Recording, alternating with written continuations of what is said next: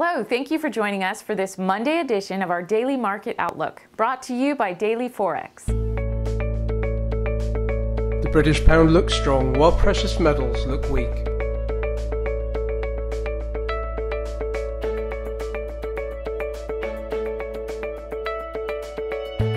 The euro US dollar currency pair is consolidating with a slightly bullish bias below 115.39.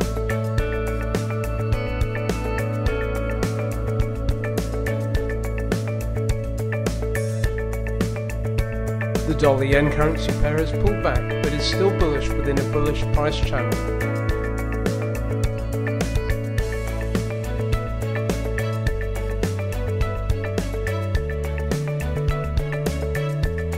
The pound dollar currency pair has risen quite strongly and looks set to rise further.